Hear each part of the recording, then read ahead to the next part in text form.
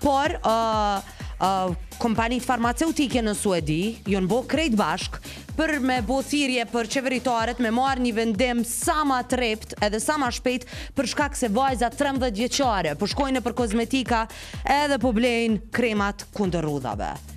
Domethënë, nuk e di a e dini, por nëse nuk e keni dit kremat anti-rrudhë, nuk guxojnë m'u përdor para moshës 25 vjeçare. Assesi ftyra nuk e pranon.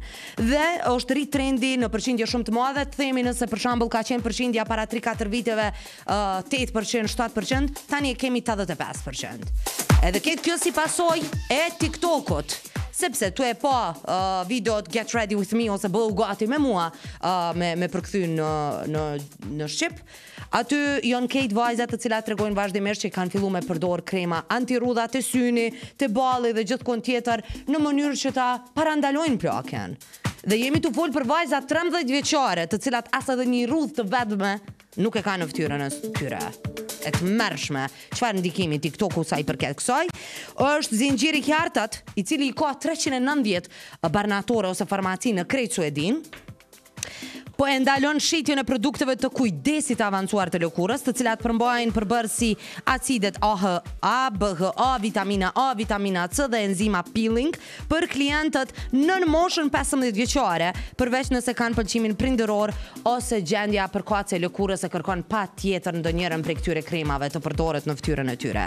Pra, lëvizja pason, sepse po e vërejmë që jo vetëm në Suedi, po në krejt botën, po e dim që suedezët ose njerëzit vendet skandinave veprojnë shumë ma shpejt, reagojnë shumë ma shpejt kundër krejt këtyre ngjarjeve ose fenomeneve negative të cilat po i prekin adoleshentët në, në, në, në gjithë botën.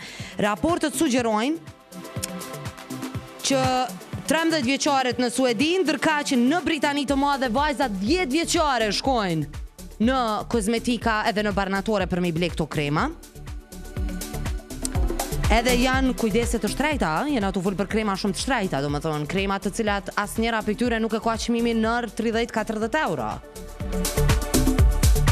Dhe ekspertët kanë frikë se mundet me pas një efekt fizik të dëmshëm në lëkurën e re dhe shqetësohen për ndikimin psikologjik te fëmijët, të cilët që nga mosha 10 vjeçare janë të fiksuar Për t'i larguar rrudhat e tyre. Come on. S'kum dit as që ekzistojnë rrudhat, more me dhe 13 vjet. A din që kjo është e keqja që fëmijt mo nuk po janë fëmij. Adoleshentët mo nuk po janë adoleshentë, po janë të rritur. Vitin e kaluar, po jau rikujtoj juve dhe vetes pa dyshim që Komisioni Evropian ka njoftuar planet për me kufizu përqendrimin e retinolit. në produktet pa recetë nga qershori për me reduktu mbiekspozimin e mundshëm ndaj vitaminës A, të cilën ekspertët e kanë lidhë me çrregullimet e lëkurës, por edhe dobësimin e kockave. Nëse e përdorni retinolën që e ka një dozë shumë të madhe të vitaminës A, atëherë ka mundësi edhe të dobësohen kockat në fytyrë, edhe në përgjithësi në trupin, por në të njëjtën kohë çrregullime të ndryshme me lëkurë, me akne e gjithçka tjetër. Keni kujdes, këshilla eme është, Uh, kurrgjo mos përdorni pa u konsultu me njerëzit profesionistë këto po ju thom nga përvoja uh, mos i besoni krejt këtij sherku ose kësaj ftyre që e shikni në Youtube live është pra make up dhe gjithçka tjetër sepse kur e largoj edhe une make upin edhe une kom akne shenja të akneve nga puberteti dhe gjithçka tjetër dhe sot as edhe një krem të vetme nuk e përdori pa përshkrimin e mjekut përkatës kështu që Burra, gra të cilët po na dëgjoni, i keni fëmijët adoleshenta ose i keni fëmijët në një moshë të re, kujdesuni dhe shikojeni me vëmendje se çfarë krema përdorin fëmijët e juaj çdo ditë.